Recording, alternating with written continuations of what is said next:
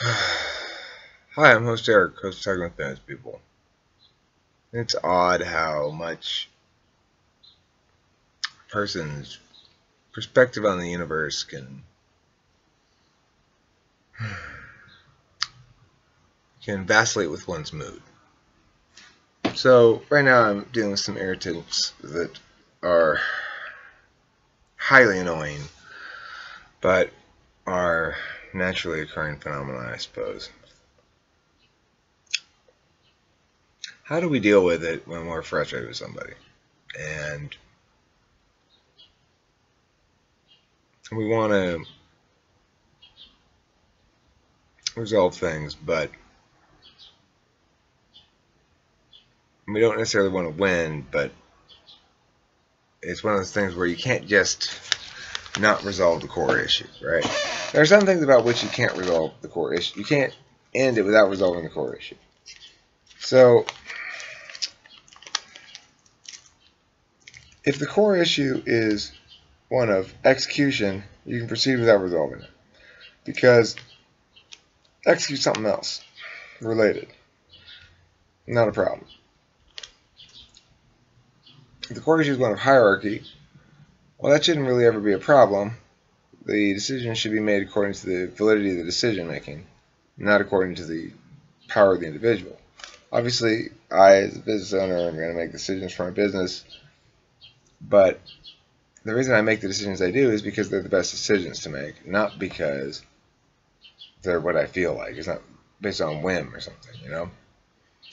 So it shouldn't really ever be an issue of hierarchy, although if there is, it would stem from the fact that there's a genuine disagreement about what the best course of action is.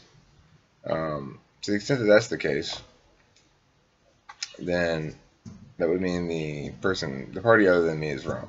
Because either if they're right, I'm looking for the best idea. I'm not looking for my idea. And if I didn't go with theirs, or if I'm telling them that, like, you know, these these thoughts you're having are fun ideas, but not business, then just take that to heart. At any rate, one of the difficulties that people sometimes face in life, I'm very grateful I haven't faced, and it's, serving it's serving me well now as I go the ups and downs of difficult living.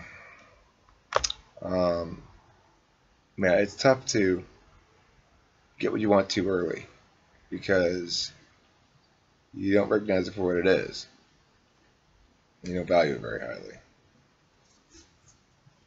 It's one of the risks of uh, dealing with young people in general. They, they lack perspective, so you're you're building their perspective as they're experiencing it. And sometimes perspective is not a lesson easily learned. Hi, Delilah. Good. You want to come say hi to the Talking with Famous People audience?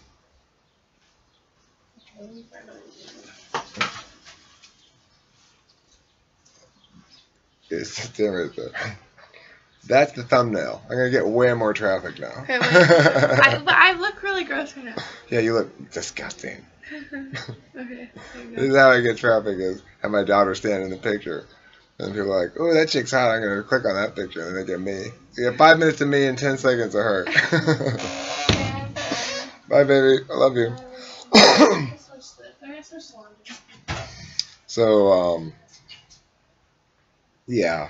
You know, it's just it's all about perspective, right? It's about having had the experiences to able to put yourself in the shoes of multiple perspectives such that